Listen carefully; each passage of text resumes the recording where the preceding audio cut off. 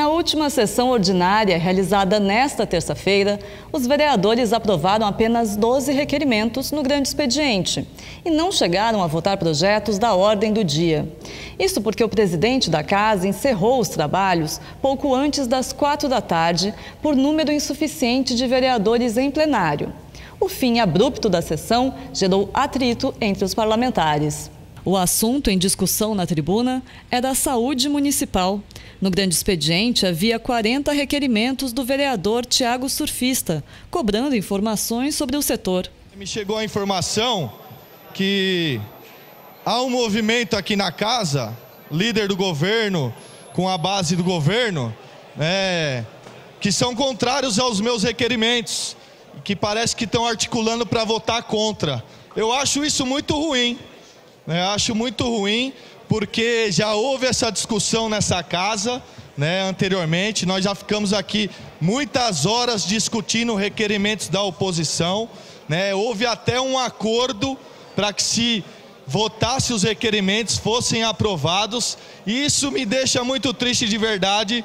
Nós sabemos que hoje a saúde na nossa cidade está um caos. Está um caos. Os requerimentos do vereador não chegaram a ser votados, mas um pedido de informações da vereadora Janete Rocha Pietá, também referente à área da saúde, foi aprovado pelo plenário. No momento de encaminhar e justificar a votação, vários vereadores usaram a tribuna para discutir o setor e houve críticas ao secretário de saúde. Onde está o dinheiro da saúde? Ele não está conseguindo administrar o dinheiro da saúde? Já tem três, é, três, três licitações que foram feitas do, do Hospital Pimentas, presidente. Né? E eles, eles, cancelaram as licitações. Incompetência. Não sabe reformar um PA Paraíso, não sabe reformar uma UBS, não sabe fazer uma licitação, não tem remédio nos postos de saúde. O que, que o secretário de saúde está fazendo na sua pasta? Eu gostaria de fazer um contraponto até as críticas ao secretário de saúde, o, o Sérgio Iglesias. O secretário na minha visão, um profissional e um secretário altamente competente.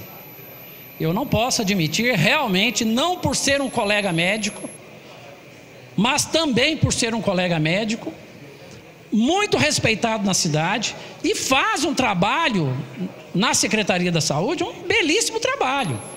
Agora, ninguém faz mágica. E antes que todos os vereadores pudessem justificar a votação, houve um pedido de verificação de quórum do vereador Rafa Zamprônio, que levou ao encerramento dos trabalhos. Presidente, para justificar, seu presidente, quero justificar, seu presidente. O senhor não vai deixar justificar, seu presidente? Está passando por cima, seu presidente.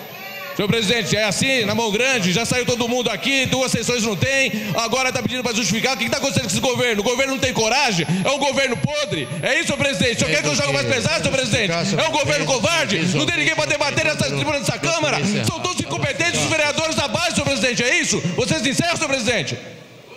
Tá certo.